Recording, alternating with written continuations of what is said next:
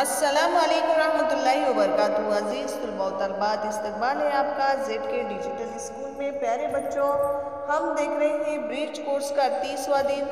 जमात है, सुगम और मजमून है हमारी प्यारी उर्दू।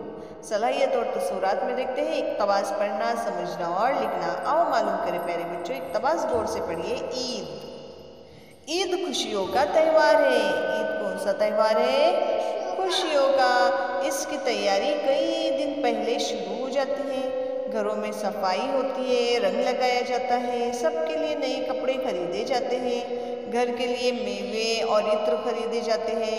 लड़कियाँ हाथों में मेहंदी लगाती है। आज उनतीस रोज़े पूरे हो गए। लोग ईद का चाँद देखने के लिए जमा हो गए। शायद चाँद नज़र आ जाए। ओ देखो! नीम की ऊँची शाख के पीछे से चाँद नज़र आ गया। हर तरफ़ ईद की चहल पहल शुरू हो गई। बच्चे, बूढ़े, जवान नए कपड़े पहनकर नमाज़ के लिए ईदगाह रवाना हो गए। नमाज़ के बाद एक दूसरे को गले मिलने लगे। घर पहुंचकर सब एक दूसरे से ईद मिले। अम्मी ने शीर कुरमा और सवैया खिलाई। बड़ों ने बच्चों को ईदी दी। हर तरफ़ खूब रौनक है, खुशियाँ ही खुशियाँ है। ईद का त्यौहार सबको पसंद है।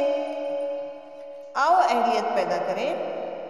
ईद कैसा त्यौहार है? ईद खुशियों का त्यौहार है।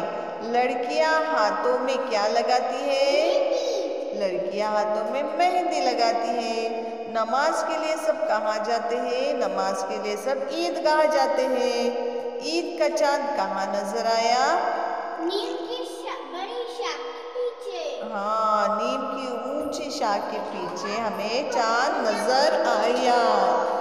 आइए आप देखते हैं आओ मश करें इकतबास में से चार हरफ अल्फाज ढूंढकर लिखिए। चार हरफ अल्फाज प्यारे बच्चों इन्हें चाँद। ये चार उर्फी है। उसके बाद नमाज़। उसके बाद देखिए यहाँ पर और कौन से अल्फाज हमें मिलते हैं वो लिखने हमें। रौनक। जवान। शाख तो इस तरह के प्यारे बच्चों अल्फाज आपको ढूँढने हैं और लिखने हैं। ईद की तैयारी इस उन्वान पर तीन सत्रे लिखिए। प्यारे बच्चों ईद की तैयारी आप किस तरह से करते हैं, उस पर तीन सत्रे आपको लिखनी है, आप लिखिए। प्यारे बच्चों, हम मिलते हैं आपसे अगली वीडियो में, एक नई वीडियो के साथ।